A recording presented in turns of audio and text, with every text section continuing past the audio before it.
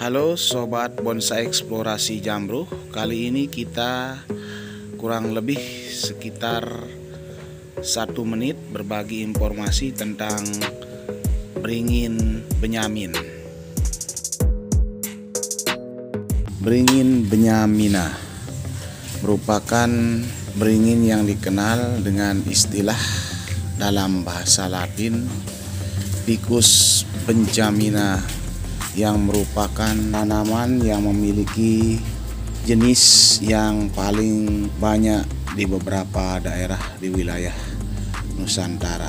Pohon yang tumbuh di berbagai tempat di seluruh penjuru dunia dan dimasukkan dalam kategori famili Morakia. Kawasan yang paling banyak memiliki Benyamin ini dan tumbuh di beberapa daerah adalah Asia. Salah satunya adalah negara kita. Untuk para cinta tanaman hias termasuk di dalamnya adalah cinta bonsai yang biasa memanfaatkan bahan benyamin ini sebagai tanaman hias, tanaman pelindung dan bagi pebonsai digunakan sebagai tanaman yang eksotik tumbuh kembangkan di atas pot dan dikerdilkan dalam bentuk bonsai. Ini merupakan salah satu bonsai dari bahan benyamin yang diproses melalui tahapan penggabungan bahan seukuran lidi dan seukuran telunjuk. Bahan ini sudah beberapa bagian terlihat menempel dan menyatu.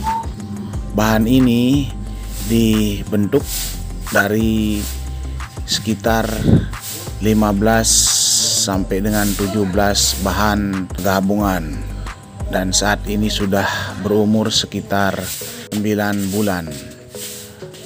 Masih dalam kondisi proses untuk uh, penggabungan dan akan ditambahkan untuk beberapa bagian dari uh, bidang yang tentu dibutuhkan sebagai cabang ataupun perantingan yang menunjang untuk mengidealkan bahan uh, bonsai Benyamin ini.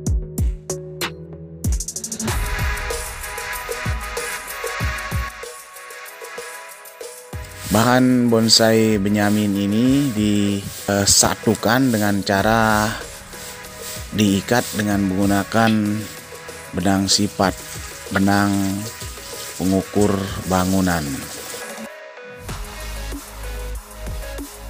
Ini yang mungkin dicoba untuk melakukan proses teknik menempelkan sejumlah bahan-bahan eh, dengan cara menggabungkan dengan menggunakan tali pengikat ini.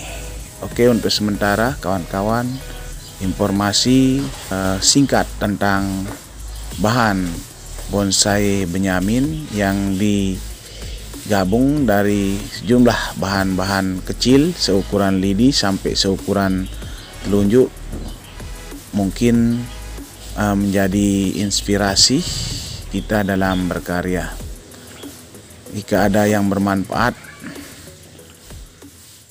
terima kasih.